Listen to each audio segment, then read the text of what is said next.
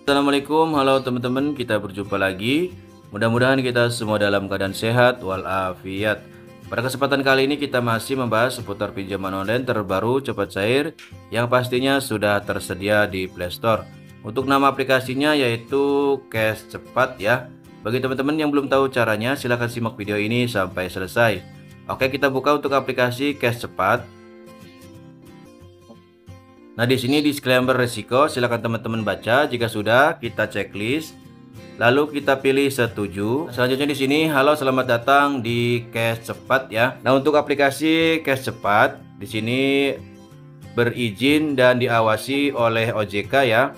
Jadi untuk aplikasi Cash Cepat sudah OJK. Sebelum kita mengajukan pinjamannya, di sini saya memberikan solusi terlebih dahulu Usiakan usia kita lebih dari 18 tahun, memiliki KTP, memiliki pekerjaan tetap, dan pastinya tidak tercoret di OJK agar kredit skor kita tidak rendah ya.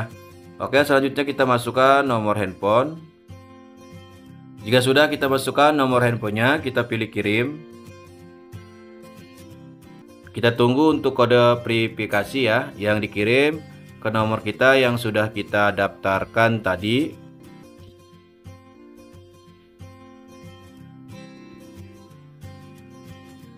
Nah selanjutnya kita masukkan untuk kode verifikasinya ya. Sudah masuk untuk kode verifikasinya. Dan jika sudah kita masukkan untuk kode verifikasi Kita buat kata sandi. Jika sudah kita buat kata sandi Kita pilih daftar. Kita tunggu.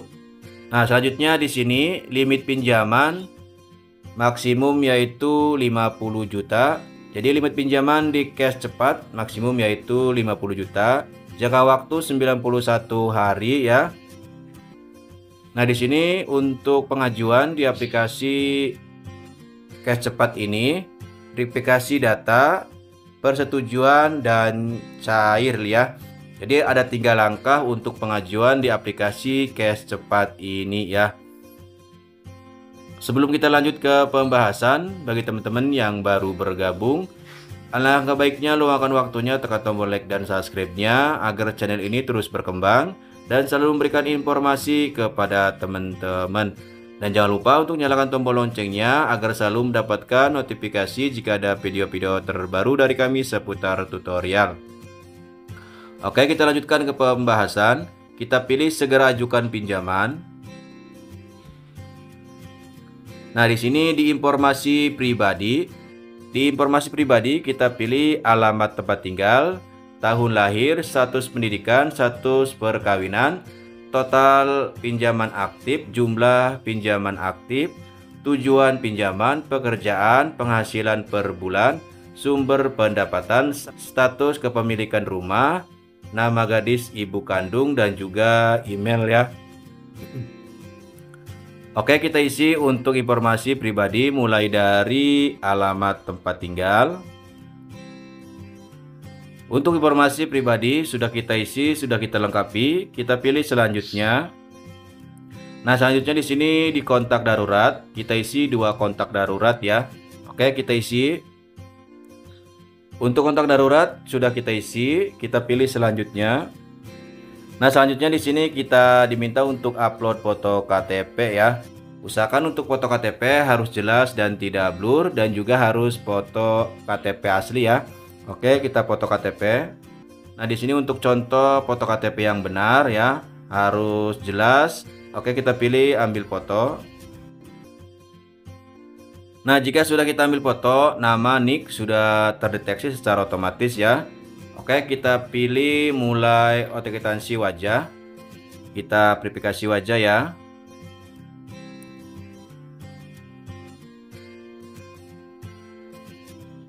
Mohon buka dan tut.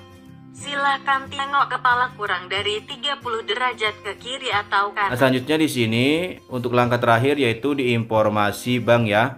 Kita pilih untuk nama bank, nomor rekening dan juga konfirmasi nomor rekening ya. Oke, kita isi Oke, kita isi mulai dari nama bank. Untuk nama bank dan juga nomor rekening sudah kita lengkapi ya. Kita pilih selanjutnya. Nah, di sini informasi pekerjaan. Kita lengkapi untuk informasi pekerjaan, bidang pekerjaan, pengalaman kerja, nama perusahaan, jabatan pekerja, jumlah keseluruhan karyawan, nomor telepon dan juga alamat kantor ya. Oke, kita isi informasi pekerjaan. Informasi pekerjaan sudah kita lengkapi. Kita pilih selanjutnya. Nah, selanjutnya di sini kita sudah mendapatkan limit dari cash cepat ya.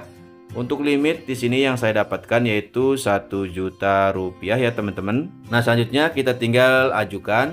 Kita pilih ajukan. Kita tunggu. Daftar perjanjian pinjaman. Silakan teman-teman baca. Jika sudah, kita pilih konfirmasi. Nah, selanjutnya di sini pengajuan pinjaman Anda telah berhasil ya. Kita tunggu biasanya satu menit dan paling lambatnya yaitu satu kali 24 jam ya. Nah, di sini untuk pinjaman sedang diverifikasi ya. Kita tunggu untuk pengajuannya mudah-mudahan di ACC dan kita cek saja nanti secara berkala di aplikasinya dan juga ada notifikasi untuk di aplikasi pinjaman cash cepatnya ya. Mungkin cukup jelas di video kali ini. Jika ada pertanyaan silahkan isi di bawah kolom komentar.